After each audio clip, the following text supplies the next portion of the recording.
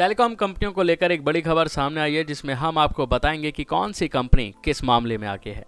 या यूज़र्स किस को बेहतर मानते हैं? तो चलिए देर किस बात की। सबसे पहले नंबर आता है एयरटेल का।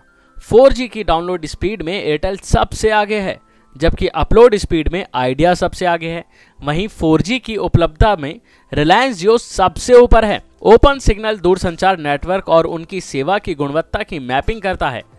एयरटेल की औसत डाउनलोड स्पीड की बात करें तो यह है 7.53 Mbps, जबकि जियो की जानकारी से आप चौंक जाएँगे। जियो की इससे कम है और वो है 5.47 Mbps तो वहीं एक रिपोर्ट में यह भी कहा गया कि डाउनलोड स्पीड अनुभव में एयरटेल का वर्चस्व है, जो 16 सर्किलों में सबसे ऊपर तथा दो अन्यों में बराबर पर है।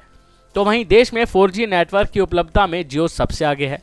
ओपन सिग्नल की mobile network experience report India में बताया गया है कि भारतीय क्षेत्र में जियो की उपलब्धता का स्कोर पचानवे फ़ीसदी का है और 4G उपलब्धता के मामले में दूसरे नंबर पर एयरटेल रही, जिसका स्कोर तिहत्तर पॉइंट नाइन्टी नाइन फ़ीसदी रहा। नेक्स्ट नाइन टैक के लिए राशिद अली की रिपोर्ट।